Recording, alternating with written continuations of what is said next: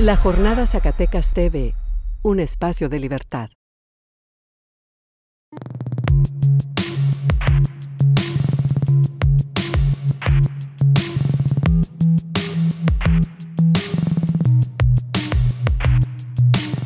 Totalmente infundado, la rechazo de manera absoluta. Me parece que todos quienes participan en un proceso electoral están sujetos a la legalidad, están sujetos al Estado de Derecho. Cuando los partidos, candidatas y candidatos deciden participar en una contienda, lo hacen desde luego a sabiendas de que hay un marco electoral que rige y aplica en este ámbito.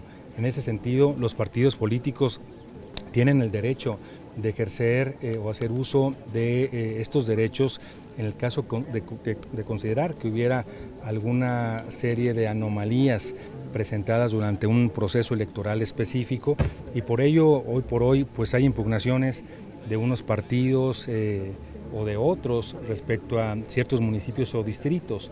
La propia eh, algunas de las eh, contiendas que se vivieron también están en este momento bajo eh, el análisis y en su momento de decisión y deliberación del órgano de justicia electoral. Por ello es rechazo tajantemente este tema. Los magistrados tienen la autonomía y tienen además la capacidad jurídica, técnica y de todo sentido para tomar y analizar los elementos que pueden formar parte de un sustento para alguna impugnación que en su caso, y de acuerdo a lo que a través de los medios de comunicación conocí, pues fue eh, procedente. Eh, el derecho está salvaguardado para todos los partidos de recurrir a instancias superiores en el caso de la justicia electoral. Así es que, pues yo en este sentido, pues eh, seré respetuoso de todas las determinaciones del órgano electoral en la materia.